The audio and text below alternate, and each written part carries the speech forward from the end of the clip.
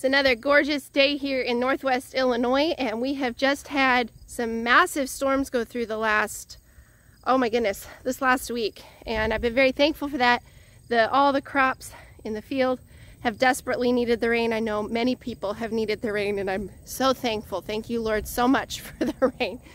Our garden has needed the rain and um, I haven't been great about doing garden updates and I've been wanting to do that but just getting out here and getting some stuff done has been um, has been challenging this summer. I'm not gonna lie, it's it's it's it's been hard. But let me show you what we've gotten so far. We are harvesting our first tomatoes. Yay! So exciting. I was just weeding and I took out a handful and I just found these two. yeah. I don't think this one's that good.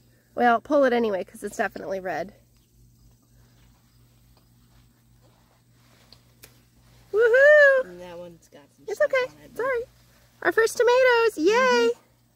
This is kind of where our garden is at the moment. We've had explosive growth this week. Explosive growth.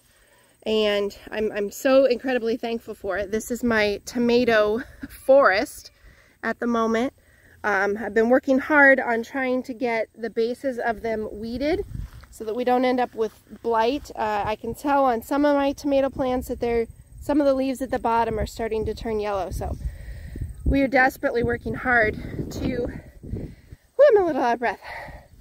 We're desperately working hard to get uh, some, um, some air flow down here. But you can see, look at how beautiful these tomatoes are.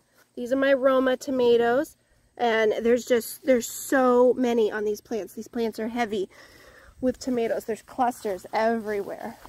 So I think this year is going to be a great year. Yeah, you can see down here. A great year for tomatoes. Once these start turning, they're just, they're beautiful. But I've been trying to work on clearing uh, some pathways through here, trying to make sure that there's good airflow at the base so we don't end up with a bunch of blight on those tomatoes. My son picked a few tomatoes already this morning. This one uh, is not looking so good, but this one looks beautiful. Look at this. It's our first tomato. Oh, and we got a cherry tomato too, buddy. Um, yeah. I don't know where that went. Let's see if we can find it. So we're just going to walk around the garden real quick and I'll let you know what's going on here. My, I planted a bunch of these and then my son, oh, there it is. A little cherry tomato. It's going to be so good. Uh, my son helped me out with planting a bunch of these other ones. So they're a little closer together than what I would have placed them. But I'm not going to complain. I'm thankful for the help. And we will get what we get off of it. I'm going to go bring these inside, Mom. All right, go ahead. This is our massive weed pile that we've been working on. Most of this just came from right here. It's just, everything has exploded. So these are some of the green beans.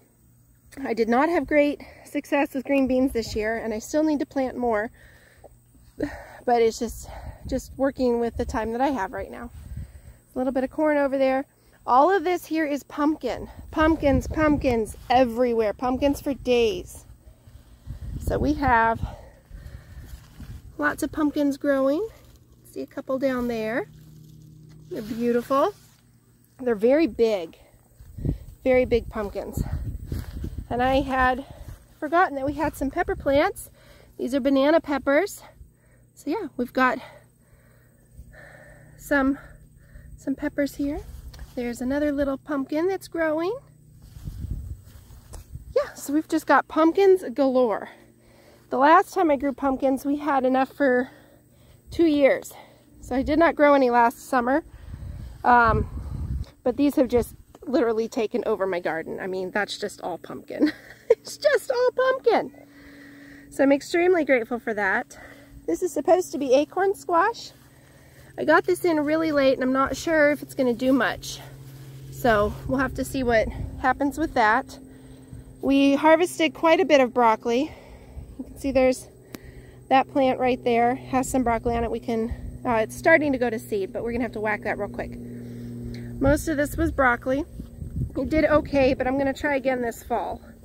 And then, you certainly can't see any of it, but all throughout here is potatoes. Potatoes, potatoes, potatoes, potatoes. So we're gonna work on um, probably harvesting those this week. Most of the plants have died back. Um, Yeah, they're turning yellow. Um, and they were turning yellow before it rained. So it's not, it's not disease or anything, but um, they're starting to die back. So we're gonna get those harvested. Coming around the bottom part of the garden, we've got more broccoli there that can be um, harvested. Somebody gave us this little squash plant. I have absolutely no idea what it was. She said it's just a volunteer that showed up at her house. She doesn't know what it is, so she gave it to us, and I guess we'll see what it is. Cannot tell yet from the leaves. It could be a cucumber, it could be pumpkin, I don't know, I don't know. This is our little watermelon section. We've got two watermelon there. There's one there, and I know that there's one hidden over here somewhere. We've got watermelon there. More pumpkin, more pumpkin, pumpkin everywhere. I want to get this section kind of cleaned out and planted with green beans so that we actually have some this year. And like I said, I'm planning to plant more broccoli this fall. I need to get that started from seed. More pumpkin. Just lots of pumpkin. Oh, I want to show you. I've got a massive pumpkin in here. These are pie pumpkins, so these are actually sweet pumpkins. But um, this one is huge. Look at how big that is. I mean, it's just, it's just big. So that's going to be a gigantic pumpkin for, for pie stuff. Got some green beans there. There's our corn section. We did not, I mean, most of my, the corn plants that I started died. Oh, is he waking up? Okay. So that's all the corn we got. My kids actually hand pollinated it. So we'll see what we get off of it. But it feels pretty full. So we're looking forward to some sweet corn off of here. That'll be good. Yeah, that's about all we've got right now. I do have plans for a fall garden and we're gonna need to get that started here soon if we're gonna get anything for fall. But yeah, that's just kind of an overview of the garden that we have right now.